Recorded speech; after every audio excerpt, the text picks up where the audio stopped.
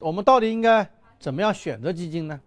既然给大家建议，建议大家买基金，这买基金好像也不是很好选啊，因为现在的基金的数量比股票的数量还要多，对不对？还包括现在还冒出了很多私募基金啊，还有各种股权基金，哎，搞不清楚背后怎么回事。普通的股民、散户的话，那么工薪阶层，我建议大家还是去买公募基金，因为公募基金现在大多数的基础资产都已经比较完备的啊。那么我们怎么去选择这样的基金呢？那我这里给大家介绍个叫“四四三三法则”。它的第一个“四”指的是过去一年整个业绩在同类行业中排名前四分之一。那么这个业绩的比较啊，你要明白，一定要是跟同类去比较，指数跟指数比啊，主动管理跟主动管理比啊，你行业跟行业比。第二个，你还要看过去两年、三年，它也是排在同类前四分之一的。那么这个四分之一不一定是一定是赚钱的，包括亏钱也是可以的啊，因为我们知道这股市它有有牛市有熊市嘛，对吧？在熊市的时候，其实大多数的基金也是很难够获得正收益的啊。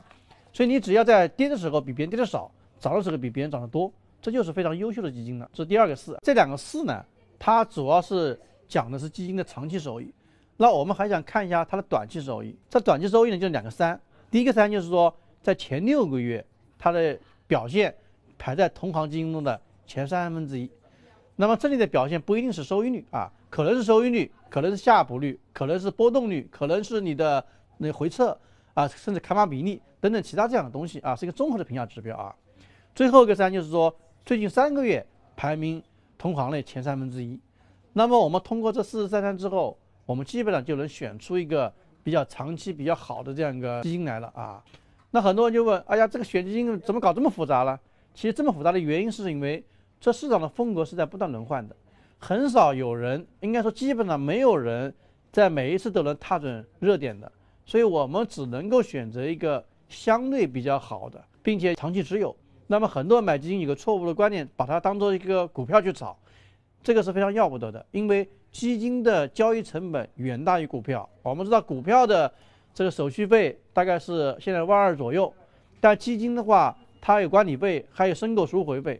特别对很多基金，如果它没有，比如说很多基金是设定的，就是在申购之后一年之内赎回的话，它要收百分之一的赎回费的。然后再加上你其他的东西，你一来一去，可能两个点就没有了。所以说，不要千万不要把基金当做这个股票这样的炒。